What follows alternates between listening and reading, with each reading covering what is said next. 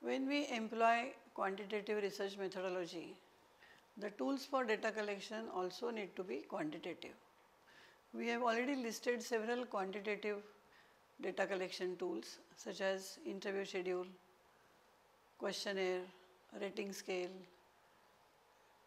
checklist, inventories, test and many other. We shall discuss today about most of the time which is used tool is questionnaire. We will see what is a questionnaire, what are different types of questionnaire, when to use questionnaire, how to construct a questionnaire and how to analyze the data which you receive through questionnaire. As I said, questionnaire is the most popular tool of data collection for research. What is a questionnaire? It's a tool which solicits information from the respondents. What kind of information it gets? You can get any type of information, any kind of information about knowledge, about their attitudes, about their way of life, about their thought process. You can get this information from the respondents, but most of the time it is in the written form. So, it is a format which we send to the respondent and we get that information from them. This tool is called questionnaire. The title of this tool is questionnaire. So, there are questions only. Most this tool consists of several types of questions. Yes, different types of questions.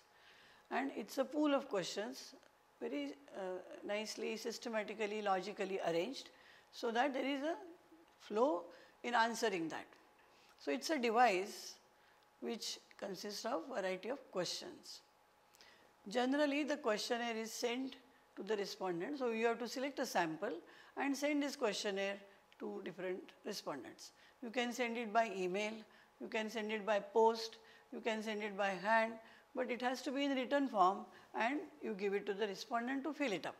Now, the respondent is expected to fill that at his or her level and send it back to you. Again they can send it by hand or they can send it by post or they can send it by email.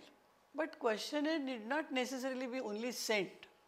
It is also possible that you call all the respondents to your institution or you go there.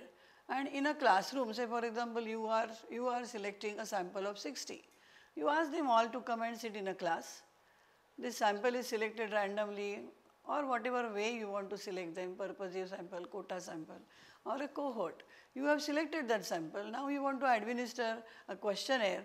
There is no need for sending it up. You just call them here and give those questionnaire to them it can be administered in face-to-face -face mode. You are there and the students or the sample respondents, they read the questionnaire, answer it and give it back to you. This is another way of collecting information, getting data collection through questionnaire. This is face-to-face -face mode of administering questionnaire. Now, as a researcher, you have many tools available to you. When do you select questionnaire? That is a question. You have to use certain criteria. Now when your resources are limited, both resources, money and time, you can select questionnaire because for administering it doesn't take much time. It doesn't take much money also because you just make copies of it and give it to them. If you send it by email, thousands of people can be contacted in a shortest possible time and then you get it from them the data the questionnaire filled in the questionnaire you will get it from them. So when you are stuck with time and money questionnaire is the right instrument for data collection. The second criteria when you want to use questionnaire is to maintain confidentiality. If you are using observation schedule or an interview schedule, you know the person who is responding to you. Whereas in questionnaire, when you give the questionnaires and anonymity can be maintained, you ask them not to write their name on it. So when you collect questionnaires, when you get questionnaires back, they are fully anonymous and then the confidentiality is fully maintained. So when you want to use the confidentiality as a major criterion for your research collection, data collection, that time this instrument questionnaire is the most appropriate tool. And because anonymity is maintained, it is also possible, the percentage or the possibility increases that your respondents give you more honest answers because they know fully well that their name is not there. The third criterion for using questionnaire as a tool is when you want to corroborate the findings from other tools. The test is given, inventory is given. Now you really want to know whatever is said about this particular respondent is true or not. I mean it is you want to corroborate that with other findings. At that particular time if you use the questionnaire again to the selected sample the data which you get and the data which you already have can be juxtaposed and that would give you a complete profile picture of the respondents. Now that you have decided to use questionnaire as a tool for data collection. So let us know more about this questionnaire. Now that you have decided to use questionnaire as an instrument for data collection, we have to know more about it in order to use it further profitably and effectively. We must know variety of questionnaires which are available to us. Mainly they are classified into two. One is closed form and other is open form. Let us see what is closed form. Closed means answers are already given and it is kind of a select answer. You have given alternatives and the respondent is supposed to select the most appropriate answer or alternative to him or her. So, you ask them to say yes or no, you ask them to put a tick mark out of 4 which is the correct one, which is more appropriate for you or you may ask them to rank the given statements or you may ask them to encircle the choice or you may ask them to underline the choice. These are the different ways, but what it boils down to, you have given them alternatives and they have to select from that alternative. There can be only one alternative or there can be multiple alternatives. For example, if you ask them what is your age group and if you give three age groups, there can be only one answer. But there could be other things. Which of these newspapers do you need? There can be multiple answers, not necessarily only one answer is appropriate for them.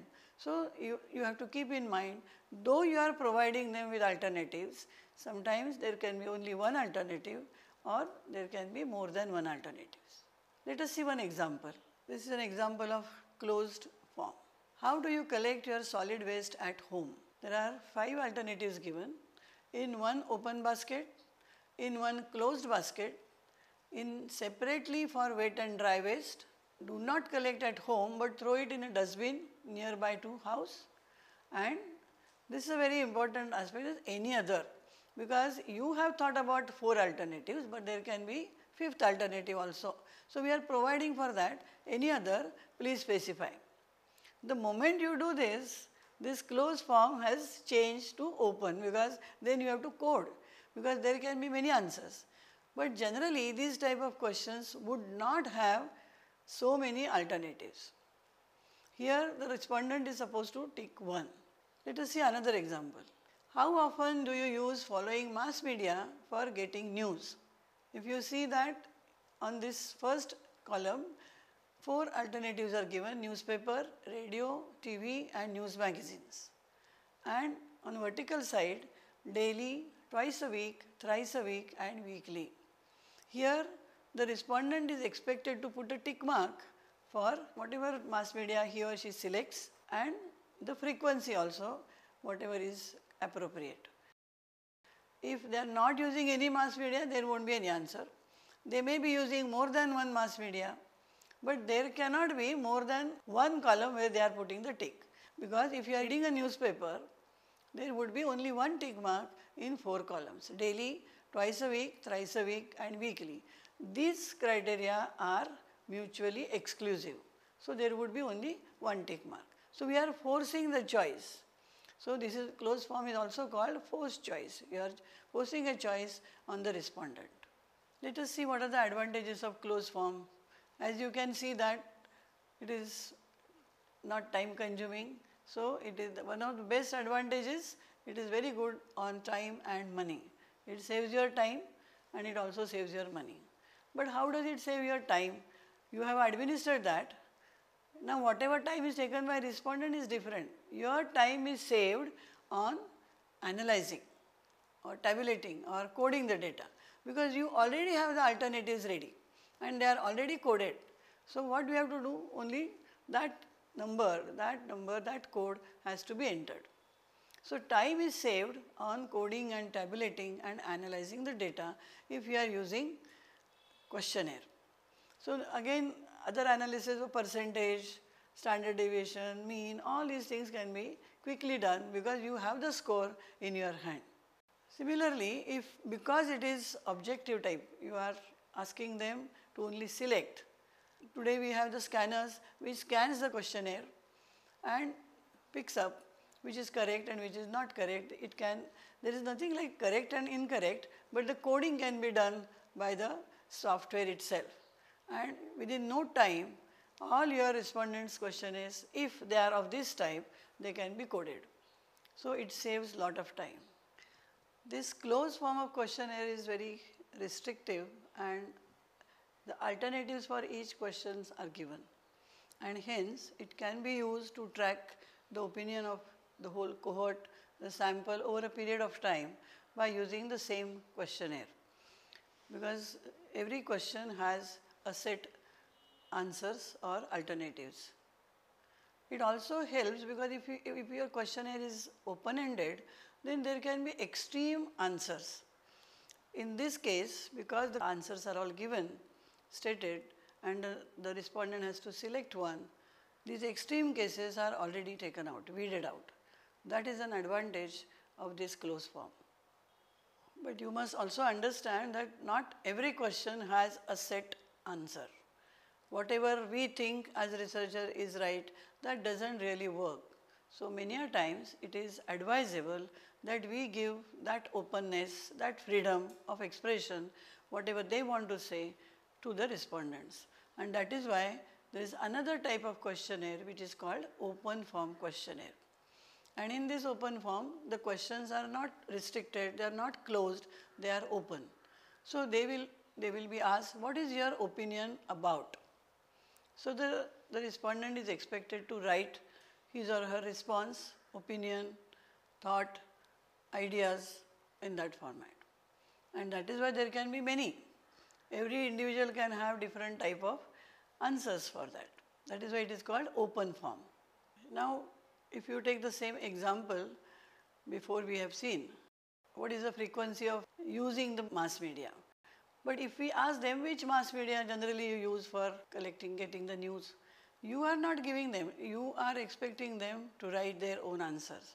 So variety of answers will come because they do not know how to group them. Now it is your headache to sit and code them or group them in whatever categories you would like to have. In open form, the respondent is expected to give their reasoning. What is their reason and why they are thinking so. So both these things are given by the respondent, not by the researcher. So as you can see that it will take more time on the part of the respondent because they have to sit and think and write. This takes more time on their part. They may think of not answering this or they may not like to answer in full. They don't like to write a big essay. So they might cut it short. So all these things happen while responding to open-ended questions. Now if you have more questions like this and you send this questionnaire, the return rate of this questionnaire is much less as compared to the structured one because that is easier for them to answer. Here they have to sit and write in their own words and every time you would be asking them why do you think so? So they have to also give the reasoning. Generally respondents do not like to write big answers. So what they do, they keep the questionnaire as it is and then getting back the percentage is very less. Similarly, there is a danger that if whatever words you have used, they are not interpreted in a right spirit because you are not there, you have sent it to other people at their place. So if the interpretation is not done properly, the answers also may not be correct. For example, let us take the same example. You are asking them which mass media do you generally use for getting news. Now, if the respondent doesn't know what mass media means because it's a jargon, if they do not know what mass media is, they may not give you answer or they may give wrong answer. So the data you have collected through this question is maybe not so much useful to you. So it is better that either you describe what mass media is or you give in a closed form. But people use this open form. So what, is, what are the advantages? There must be some advantages. You can see that when people are asked to write in their own words, the answers, the reasoning, the data is very valuable because there is no restriction. Because what happens when the researcher thinks, he or she may be thinking based only on the research studies done before or his or her own experience. Whereas the experiences of the respondents may be different and when they come out with their answers, this data becomes very valuable. It is very rich. You get wide range of responses when you are not tightly defining that these, should be your answers. So, variety of answers you get through the open form of questionnaire. Sometimes it also happens that you are not expecting some answer and these kind of responses, unexpected answers, but they are very insightful answers. We have not thought about them even when you do the pre-testing, you have not thought about, you didn't get those responses. So such unexpected responses you can get if your questionnaire is open-ended. Even if you have a closed or very structured questionnaire, it always happens that we, the concluding question is open. We ask them, ask the respondent, do you have anything to say, any things to add to this? We have asked 20 questions. Now do you want to add something to it? What are your views about it? These, these are open-ended questions and this question is inevitably, invariably asked at the end of close of questionnaire. So it's not that even if your questionnaire is structured or closed form, there is going to be one question which is open-ended. What are the disadvantages of open form of questionnaire? Let us see that so that you will have some idea what kind of combination to be used. The very nature of open form requires them to study it individually because it is open. We are asking about their own views. So you cannot ask to the whole group. It has to be answered individually. It has to be asked individually. And that is why it takes more time. It is time consuming and both, at both level, yours as well as at the respondent level. Because it is open form, you are not expecting a particular answer. There can be 10 answers, there can be 20, there can be 100 answers. Now you cannot automatically tabulate them because you do not know which answers will come. You have no way to code them beforehand.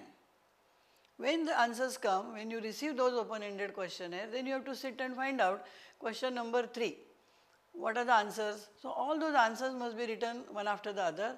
So if five people are answering the same thing, it, it is possible. Then the frequency is five. But it's not always so. Many people, if you ask them to opine, then they will come out with different opinions. And coding that takes your time. Then tabulating that takes your time. Then analyzing it, again it will take your time. Because unless you group them, unless you classify them, you have to give some kind of a treatment before you start analyzing. You have to give them some scoring. So how would we give that? Then you have to sit and study all these responses and then code and score and then tabulate. So it is time consuming. If you have low budget and even your budget of time is also low, then you should not go for open-ended questionnaire it will take more time. So you have to see a combination of both closed and open. Now let us see how to construct a good questionnaire. It has certain steps. As any instrument, if you want to prepare, there are steps you have to follow. Now step 1 is you must be clear about what is the purpose of questionnaire. And this purpose you get from your objectives of your research and if you have hypothesis, then the hypothesis also helps you in identifying the purpose of questionnaire. Unless your purpose is clear, you won't be able to include the questions in the questionnaire tool. Once you have identified the purpose, then the next step is to identify the content. identify the information which you require from the respondent and that information is also arranged sequentially. There is a relationship between if you are having the whole content that can be categorized, classified and the sections can be formed and we also should show the relationship between section 1 to section 2, section 2 to section 3, how the information will flow. It has to be arranged logically and sometimes it also has to be arranged psychologically so that the respondent does not feel that he or she is answering the question arbitrarily. So, the arrangement of content is very essential. Once you arrange that, then the questions can be formed. But before that, there is one more step that you, you have to identify your sample, your respondents. Who are these people who will be answering your questions? That is a very crucial point. If it is students, if it is managers, women principals, whatever and who are the group members, who are the respondents, accordingly you will use the language. So, when you go for framing questions, you have to keep before you the sample, the, the respondents who will be answering the questions. So, first identify that sample. You may not go and identify the sample, but the characteristics of the sample have to be stated. This would help you to frame questions, the difficulty level, the use of language, the arrangement, everything depends on who is going to answer. Once you define the target group and also define the or identify the expertise which you expect from the respondent, then you start framing the questions. The questions are framed on the basis of the content, the sequence which you have already prepared in step 2. If you are thinking of using closed form, then the question and the probable answers, alternatives also have to be thought of and those have to be written there. Now, this some research is already been done. How many alternatives can we give? 3, 4, 5, 10, how many? So, but there is no consensus on how many alternatives we should give. But if it is related to opinion or it is related to strategies, then it is good that we take care of involving, including as many alternatives as possible so that it becomes a closed form. Otherwise, you have a choice of using open form, then directly ask a question, what do you think about? When you start framing questions, you also have to think about alternatives and give those alternatives along with the questions. Now, your framing of questions are ready, you have arranged them sequentially logically or psychologically whatever way you want to do. You have also thought that it is open ended or close ended. Now your whole structure of questionnaire is ready. Now two more things are to be done. What happens with questionnaire, it is one time instrument because if you are using it for a purpose, then this questionnaire is not used for any other purpose. So what happens, people think that why to do the standardization? We are not saying that you do standardization, but reliability and validity need to be established so that you are sure that your instrument is reliable and it is also valid. We will see in detail how to establish reliability and validity a little later, but this is a very important step when you prepare the questionnaire, its structure. The next step would be once this is reliability and validity is established, then you have to try it out on the real sample. Of course, this sample will not be included in your sample of data collection, but who are the people in your population? These people should be selected, small number and this questionnaire need to be administered to them. We will also see this is also called pre-testing or pilot testing. How it is done we will see in a short while. But these are the main steps of constructing a good questionnaire. What is most important in questionnaire is its language. When you send this instrument to your respondents, you are not there to explain the meaning of every word. If it is misinterpreted, if it is not understood, it is wrongly understood, the researcher is not there. So it is very important that language which you use should be carefully used. Let us see what are the aspects of language, how this language really works in a questionnaire. First of all, define and qualify the terms that could easily be misinterpreted. We have taken the example of mass media. Now some people may think that newspaper is not a mass media. So it is misinterpreted. What is the definition of mass media? Is your mobile a mass media? So there is a room for misinterpretation. You identify all those terms so that they will be properly taken care of. Be careful in using descriptive adjectives and adverbs that have no agreed upon meaning. You think occasionally means three times a week, but somebody might say occasionally means two times a week or hardly any time. These are the terms which can be interpreted differently by different respondents and on the basis of that they will be answering. So the data which you are collecting may be erroneous. So you have to take care while using these words. Sometimes it happens that in a statement we use double negatives. Double negative means positive, but people don't understand that and if they don't understand the statement itself, they may give wrong response. We have to avoid double negatives. The sentences, the language should be so simple, the sentences can be very simple statements, not compound or complex with so many clauses in it. Because to comprehend that becomes challenging and difficult for many people.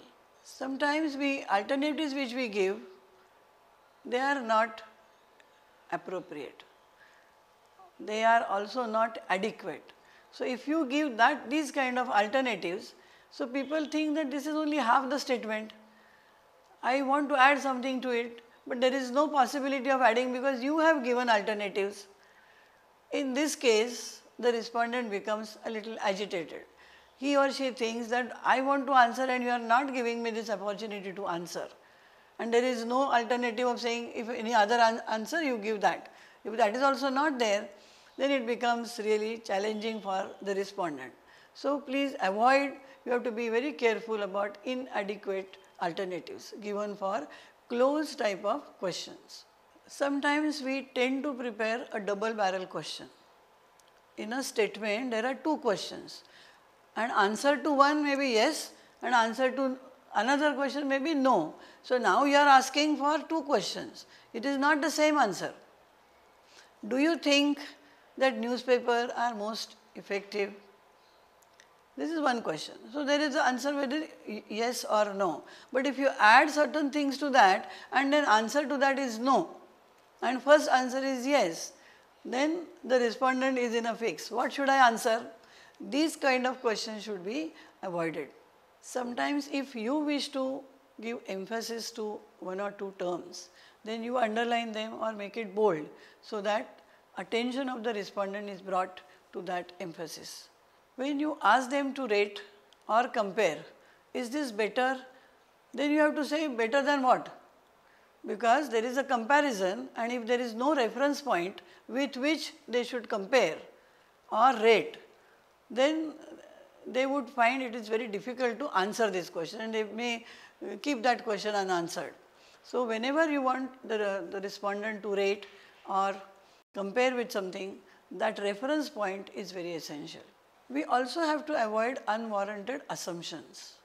There are assumptions which you think are correct, but these are the assumptions which are not acceptable by the respondent because you have say 50 respondents in your sample. Now not everyone is with you on these assumptions. So because what happens, we have certain assumptions and on the basis of that assumption we also judge others. So these unwarranted assumptions which are not necessary for preparing questions should be totally avoided. When now you know the sample, you know their expertise, keeping that in mind, you should frame questions which would be understood by all. So what we generally do, minimum denominator we select. So this is what everyone will understand. If that is done then there is a possibility that you get correct answers, responses from your respondent. You also have to construct questions which would elicit whole response. Have that in mind, what response we expect and for that you construct a question. It should not be done haphazardly so that what happens, half answer comes. We don't want that because then you will find it very difficult while analyzing. Then you will, you will find out that, oh, this answer is not there, this response is not there. Why did it not come? Because the question itself was not properly phrased. We have seen that in the beginning, before starting framing the questions, we have to structure it, we have to prepare sections and also show the relationship among the sections. If we do that, then when you are classifying the answers, responses in particular section, particular subsection, that becomes easier because that is a variable which is um, around which you are framing various questions. So, one variable and there can be 10 questions which are related to that variable. So, all these answers can be classified for that variable. This becomes easier if we keep that in mind while framing questions. It also happens that you have collected questions, questionnaires from respondents, now they are with you, A lot of open-ended questions are there and now a lot of information is collected. Now if you think somebody else should sit and classify that, then they may classify using their own framework. Here what has happened, you are a researcher, you have prepared a theoretical framework. On the basis of that you have objectives. On the basis of that you have stated hypothesis. Now you are very clear about it. So if you start analyzing, you start classifying that, that becomes very good, very systematic for your research and there won't be any omissions, unnecessary omissions while you classify them. This was all about the language, this was all about how to frame questions because questions are the most important part of any questionnaire. Second important part is arrangement of the questions logically or psychologically so that from easy to complex we can go ahead and as it gets complex the people are the respondents get mentally ready to answer these difficult questions, challenging questions, complex questions and they are ready for it. You can't start asking complex questions first and easier questions later. They have to be logically arranged in the questionnaire. Now your questionnaire is ready, you have taken utmost care about the language also. What, is, what remains are two things. One is to establish its reliability and its validity. What is more important is validity. Validity is of two types. One is internal validity and other is external validity. Internal validity refers to the measure what the researcher wants to measure. So we have to ask a question, is this tool measuring what I want to measure? If your answer is yes, it is valid, internally valid. Now that means the content which you have selected, this content reflects your objectives and hypothesis if you have.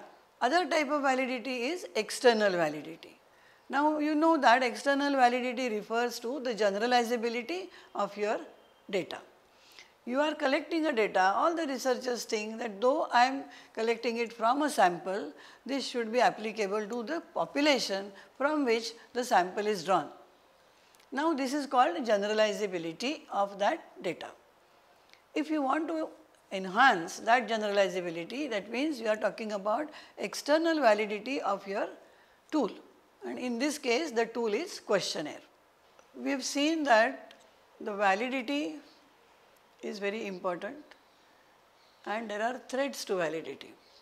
We have also seen that questionnaire because it is sent to respondent and it depends on the respondent to give it back to you, the percentage of receiving the questionnaire is very low as compared to interview or observation schedule because there the researcher or the interviewer goes directly and meets the respondents. Here it is not so. So the low rate is a challenge to the validity. How to improve that further that we must see. Why there is a low rate of return? There are many reasons. Maybe people have not understood what you have you are asking. So they may return it, but it, it is half done. You have 40 questions and they have answered only 20 questions. So this is incomplete questionnaire is of no use to you because variables, all variables cannot be tested using this half complete test. So even if you have received it, it is considered as not received. So this is known as low rate of return. So again language is very important. If your language is good, understandable, comprehensible, then people would like to answer. Again we said that if it is closed type, chances of respondents answering your questionnaire is more in terms of closed form if you compare it with open form.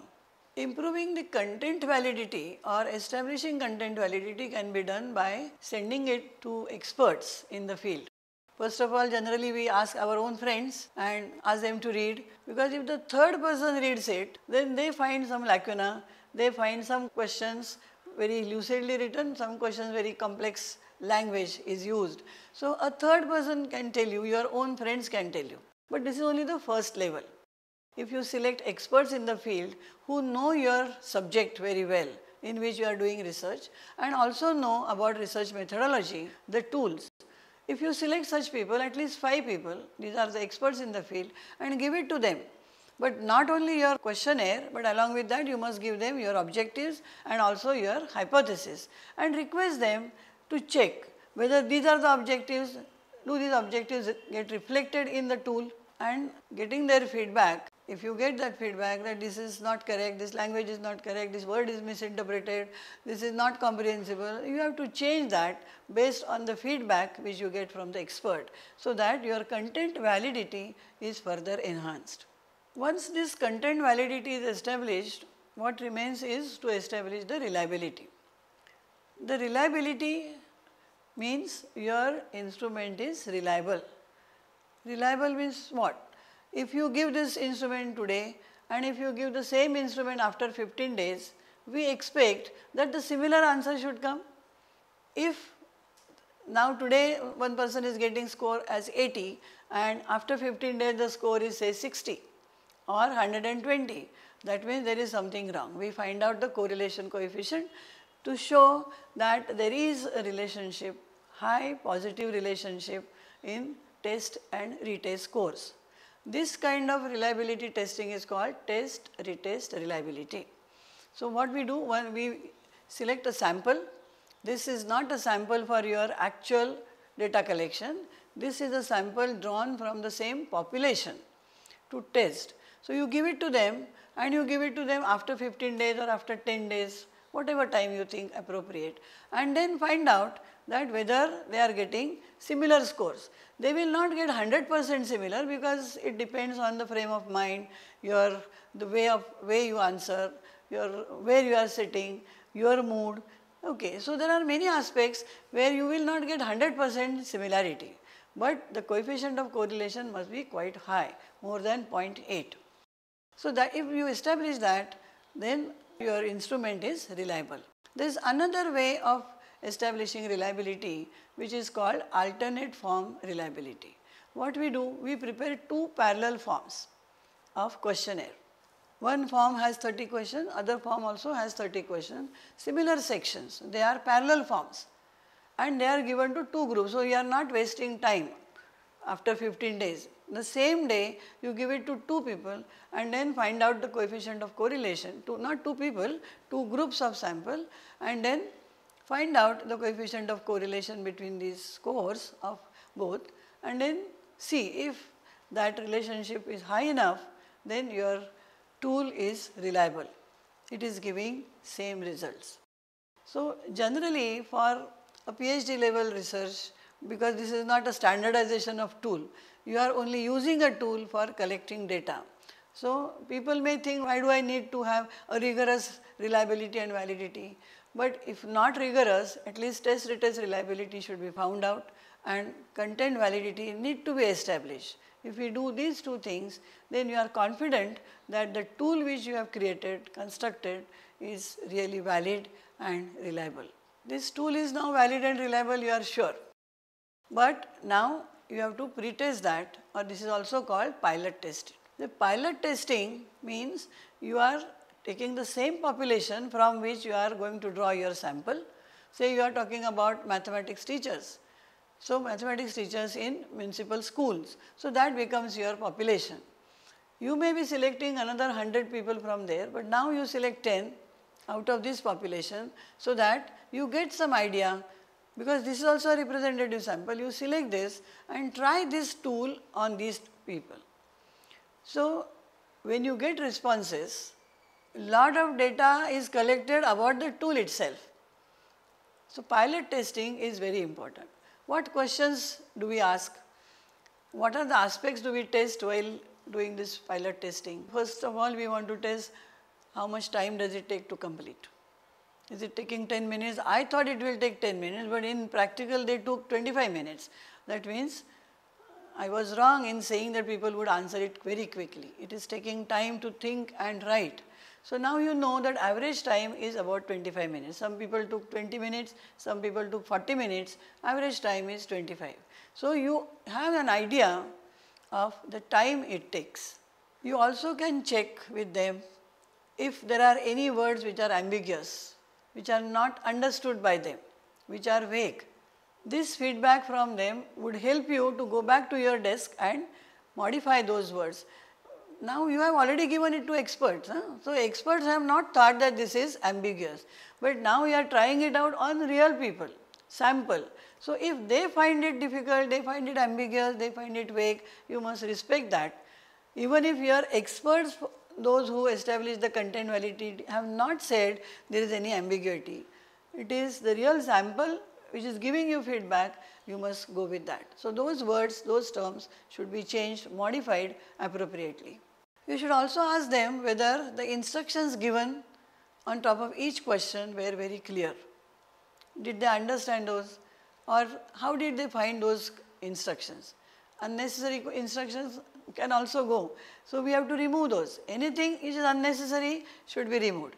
Why should we tax our respondents by for reading something which is not necessary?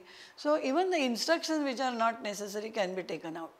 So we want to have perfect understandable instructions so that their time is not wasted in finding out, in understanding what exactly the researcher wants. This pilot testing would also allow you to take out the questions which are not that good, which are not necessary. As I said, instructions can be taken out, even the questions can be taken out. There can be a duplication of questions. People would tell you, question number 3 and question number 8 have nearly the same thing. Why did you ask that? They would tell you. Because their job is to tell you that. They are, they are your evaluators in a way. So if there is unnecessary duplication, that also can be removed. Even if there is no duplication, but you think this question is not necessary, it has no meaning, it has no value, but you had included it somehow, at this stage you can remove that. You see there are various stages at which you can improve the quality of your instrument. You should not say, I have prepared the questionnaire, now I will directly go and use it on my sample. There are ample opportunities where the tool can be sophisticated, standardized, made better and better at various levels. Now your instrument is ready, questionnaire is ready with in all aspects. You have prepared the structure, you have prepared questions, you have arranged them, established reliability, validity, pilot testing is also done. Now you want to start data collection. You have already identified who will be the people in the sample. So now you identify them, select the sample. Suppose your sample is that of teachers in municipal schools. So they are teachers and they are working. So if you want them to respond, you have to take permissions. So for administering any questionnaire, there is certain, there are certain steps which we must follow.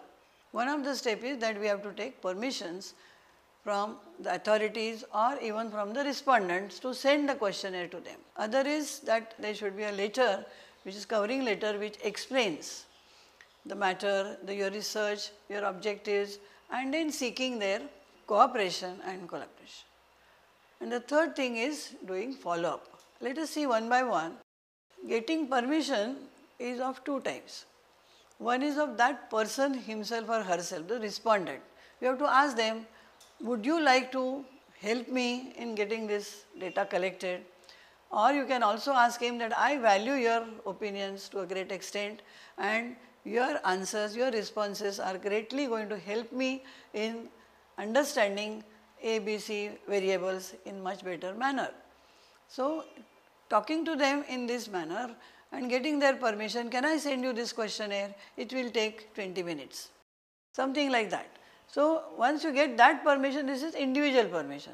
Sometimes it happens that cohort, suppose you want to work with students of 10 standard. These are the students that are studying in particular school. So you have to write to principal and get permission that can I come and administer this questionnaire to them can I give this questionnaire to them to do it at home and then bring it back to school? I'll come and collect. So permissions are of different types. In what happens in municipal school, there is education officer. So who is the granting authority? So you may have to go to education officer. So it depends what kind of uh, respondents you have in mind and to whom are they reporting, who is taking care of them.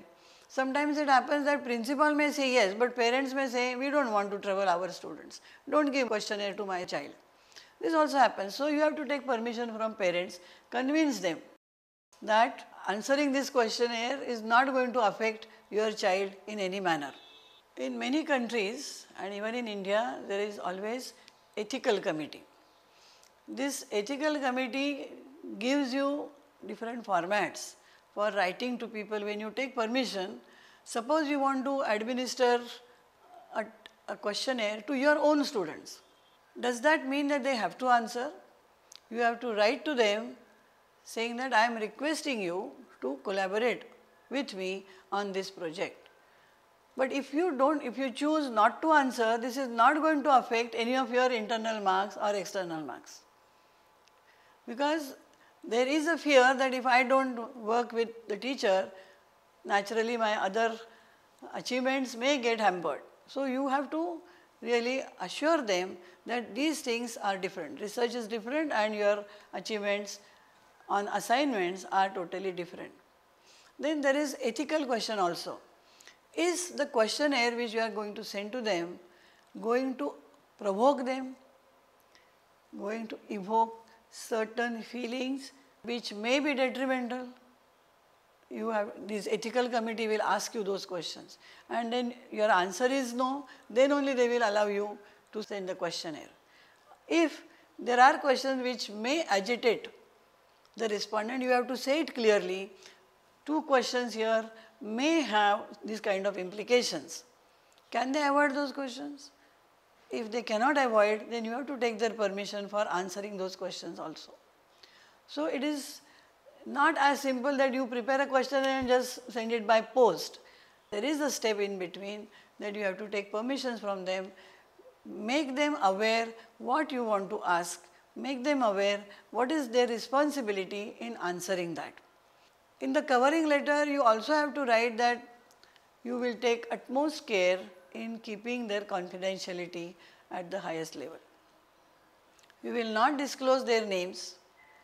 Even if you ask to write their names, you should not disclose those names if they are not willing to do that. So these kind of assurances are very much required in your covering letter and then you have to follow those. This honesty in giving you responses will come only when these kind of assurances are given. So administering questionnaire is not only sending it by post. All these things are very crucial for getting the desired data, information from the respondents. Now you have sent the questionnaire by email or by post or by hand. You have also given the time limit. You have said that I would expect to get it back within 15 days. So kindly make it convenient to respond. Now they don't respond after 15 days, 30 days. So after 15 days if you don't respond, you have to do the follow-up. So follow-up is a great thing when you are using questionnaire because people don't give you the data when you want it because they have other priorities. So again you have to write to them, request them, the 15 days are over, how much time would you take, ask them and then give them time. You can also say, can I send someone to collect it because people are, I won't say lethargic, but they don't have time to go to post and post it. So if you can ask them, can I send someone to collect it on so and so date or what day can I send someone. So if you ask for, I mean if you request them for giving support, you are giving them the support in sending it back to you. So the chances of getting the questionnaire back are increased. So continuous follow up on phone by writing to them or by sending emails, by SMSs. Now all communication channels should be used so that you get the questionnaire back. But you should not irritate the respondent. If you do that, then they will say, I don't want to answer. So then you are not getting your questionnaire back anyway. You have to have a balance while, while doing the follow-up, you have to do it in a good words, modestly, respectfully, so that the filled-in questionnaire comes back. You also have to assure that all the questions are answered. Because if some questions are answered and some are not, then it is incomplete questionnaire and it will not be useful for you to use that questionnaire. You have to discard that questionnaire because incomplete data on some of the aspects which may skew your data analysis. What happens here in questionnaire, you have given it to say 100 people and 40 people have responded. 60 people have not responded. Who are these people? It also may have it like this. Those who are interested in your topic, those who are positive are sending you the question as filled. So, all the data which you have got is all positive. So, you are interpreting, you are analyzing and interpreting data which is already skewed. This is a danger in getting 30 percent, 40 percent questionnaires back. If you can get 100 percent questionnaire back, then it is not possible 100 percent unless you go to them, have a cohort, administer it there and then and get it back. I did that for my PhD studies. I went to many schools in many districts of Maharashtra, but I went there personally. Before going there, I had taken permission. And all those 50 students, 40 students, they were sitting there. I gave them the questionnaires, not one, there were 16 tools, but students did that. 16 variables, not tools, 16, but 16 variables were tested. But I got 100% questionnaire back because I went there personally. It took a lot of time and it also took a lot of money. But my satisfaction was that whatever sample I had selected, they all gave me their questionnaires back. If you don't do that, if you send it by email or by post or by hand, then follow up is very essential. Otherwise, getting only 40% or 45%, 30% questionnaire back will definitely give you a skewed result. Questionnaire is a very important tool and it is widely used because it is easy to construct and it is easy to administer. It is not time consuming and for cost wise also it is much cheaper than other tools and hence researchers tend to use questionnaire more. And if you are using questionnaire then you must know what are the challenges in preparing a questionnaire. We have discussed that how to construct a questionnaire, how to administer a questionnaire and how to analyze the responses of the questionnaire. When you analyze, you will require different statistical tools, statistical techniques. In some other session, we will see what are the statistical techniques available to a researcher when you score your data which you have received through the questionnaire. Thank you.